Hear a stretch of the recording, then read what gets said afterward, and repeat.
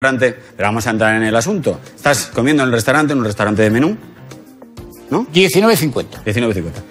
¿Qué comisteis? ¿Eh? bueno. El desván, el desván. Te voy a decir lo que comimos por 19.50. Y te voy a decir una cosa. Si vas algún día por allí, Sí. te darán lo mismo que comimos nosotros.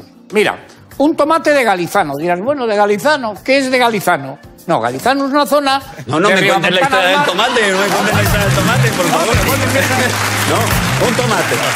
Sigue, sigue, vamos al menú. Es que si no, tengo que pedir a Antena 3 que no hagan esta noche Bueno. pequeñas coincidencias. Un tomate de Galizano.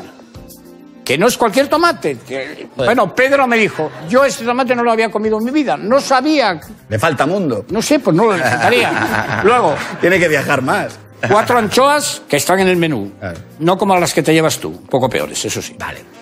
Una ensaladilla rusa que es para compartir entre dos. Bien. Tengo que decir que como yo hablaba mucho, eh, se la comió entera él. Se la comió entera él. No es de compartir. Después, caricos. Dirás que son caricos. Una alubia de trasmiera, riquísima.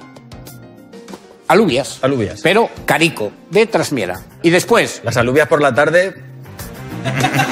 a mí me sientan... el, el pre- presidente del gobierno, pero si comido alubias, has comido alubias. Y después, un lomo de, de merluza a la pero- plancha para... Vete tú por 19.50, No, ya, ya, te dan sí, lo no, mismo. no, sí, bien, y está. después una crema campurriana, que es una especie de natilla muy rica con sobao.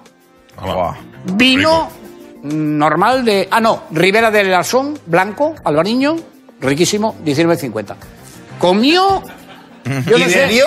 No, no, no, no, beber no bebí mucho. No bebí. pero comer, co- no sé si estaría mucha hambre. Vale. He comentado incluso lo mucho que come y dice, pues no, normalmente no come tanto. Ese día comió a base Ah, de vino. no, ese día.